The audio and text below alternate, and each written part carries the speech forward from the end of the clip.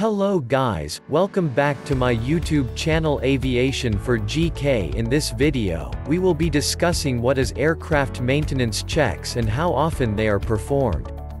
So, before I start with this video, if you are new to my channel, I would like to request you to subscribe to the channel and press the bell icon, so that you won't miss any of my future videos.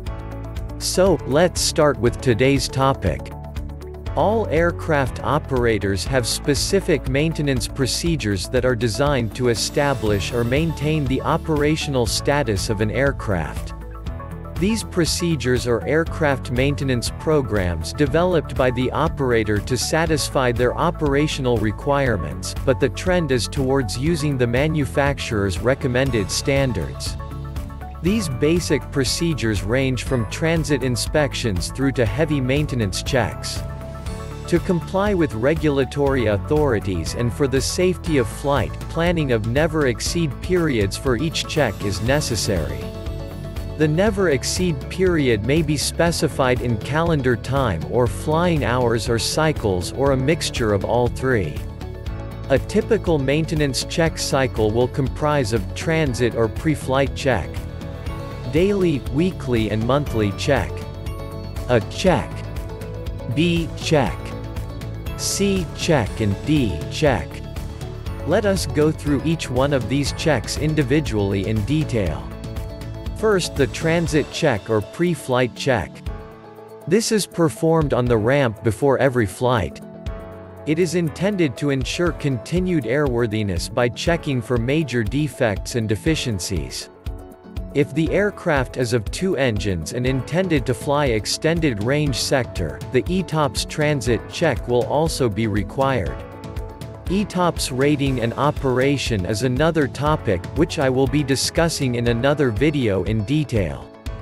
Now, let us see the daily, weekly and monthly checks.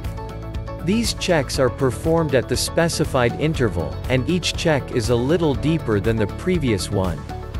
These checks are planned such that they can be performed during home base visits. A short-haul aircraft may have one daily check and several transit check a day, while a long haul has a daily check when it returns to base every two or three days and transit at the line station. Now, let's see, a check This check starts from thorough visual inspection and operation of major airframe and engine systems. This is performed approximately every 500 to 800 flight hours. It may be done overnight on the ramp or in a hangar.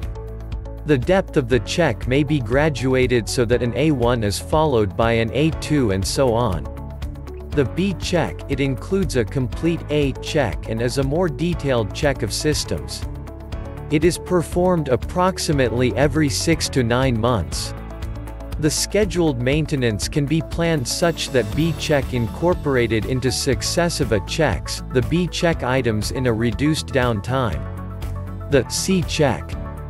It includes complete A and B checks. This is performed approximately every 15 to 24 months or at a specific amount of actual flying hours FH as defined by the manufacturer. This check is more extensive than a B check, as most of the aircraft are inspected. The time needed to complete such a check is generally 1 to 2 weeks. The D check. It is the most comprehensive it occurs at approximately 5 to 6 years for current aircraft types but the period may be reduced for the second and subsequent D checks. D checks include complete A, B, and C checks. It is a check that more or less takes the entire aircraft apart for inspection and overhaul. Such a check can take from three weeks to two months, depending on the aircraft and number of technicians involved.